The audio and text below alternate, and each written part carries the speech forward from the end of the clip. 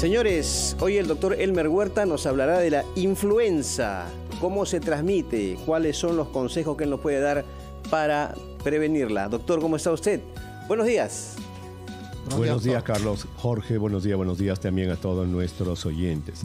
Efectivamente, eh, antes de esta pandemia, del 2019, todos los años en esta época ya estábamos hablando de la gripe, de la importancia que tiene la gripe, también llamada influenza, no es influencia, sino influenza, gripe o influenza, eh, en la salud pública. ¿Por qué? Porque la gripe o influenza es una enfermedad viral producida por los virus de la gripe que afecta muchísimo y puede llevarse la vida de personas mayores de 65 años y de niños menores de 5 años.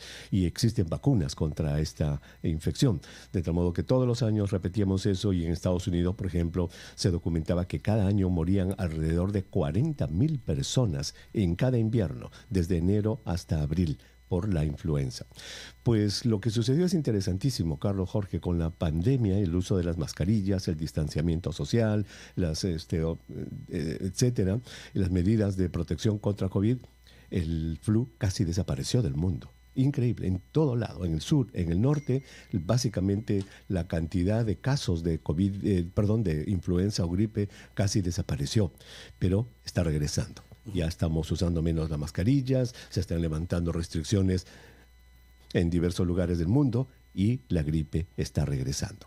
El día de ayer, el, el, viceministerio de Salud Pública pues pone una alerta epidemiológica en el Perú, en el cual advierte que la influenza causada por la variedad del virus H3 N2, que en un ratito lo vamos a explicar qué significa eso, ha regresado al Perú y durante la última semana de marzo y las tres primeras semanas de abril ha causado ya 169 casos, eh, de los cuales la mayor parte, el 31%, están en el 38% en Ayacucho y el 31% en Piura.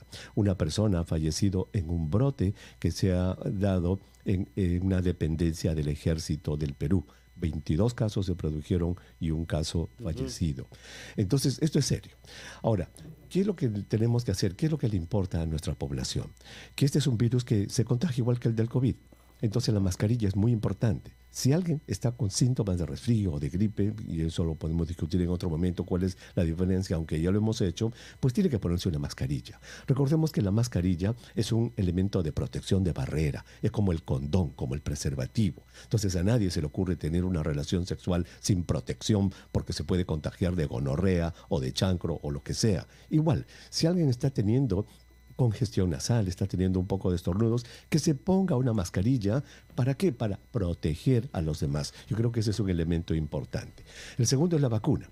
Existe vacuna. En Estados Unidos, por ejemplo, este año los CDC han dado a conocer que la vacuna de este año, que tiene este cuatro, eh, eh, es cuadrivalente, cuatro cepas del virus de la gripe incluye esta H3N2. Entonces sería muy importante y en este documento que lanza ayer el viceministro de Salud Pública hubiera sido maravilloso porque dice ahí, vacúnense. Hubiera sido muy bueno que nos digan qué tipo de vacuna se está usando en el Perú, es trivalente, es cuadrivalente, incluye H3N2 o no. Hubiera sido bueno que lo pongan en el comunicado, no está, vamos a averiguarlo. Entonces, en suma, la gripe está regresando, hay que protegerse, una mascarilla si uno está un poco enfermo, quedarse en la casa, vacunarse, son las medidas básicas para que estas, eh, esta enfermedad no nos eh, haga daño, especialmente en personas mayores de 65 años, gestantes, gente con enfermedad crónica, con diabetes, con asma, insuficiencia renal, enfermedades del corazón. ¿Cuál es la característica, doctor, del H3N2? A ver, H es eh, H y N es el nombre y el apellido de los virus de la gripe. Son decenas, centenares de virus de la gripe, este Jorge, muchísimos. Eh, tienen su nombre y su apellido. El nombre empieza con la H y su apellido con la N. Entonces, todos tienen números, H1N1, etcétera, etcétera. Entonces, este, la que nos ha tocado esta vez es el H3N2, hay en otros lugares H1N5 y, así por el estilo. Son, eh, son características este, eh, eh, biológicas del virus. La H viene de hematoaglutinina y la N de neuroaminidasa, que son características químicas del, virus, moleculares del virus, por decirlo de esta manera. Pero independiente del tipo, el cuadro es casi el mismo. Y la gripe es una enfermedad brutal. A quien le ha dado gripe alguna vez no lo va a olvidar. No es como el resfrío que te da un poquito aquí de congestión, estornudas, moco en cantidad por dos o tres días, pero tu cuerpo está bien, tienes apetito y comes. No, la gripe cuando te da, te da con un dolor de cuerpo brutal, te tumba la cama y no puedes ni moverte por dos o tres días. Eso es la gripe. Quien le ha dado la gripe alguna vez lo recuerda toda la vida. Por eso es que las personas en riesgo rápidamente se complican con neumonía y mueren. Muy bien, doctor.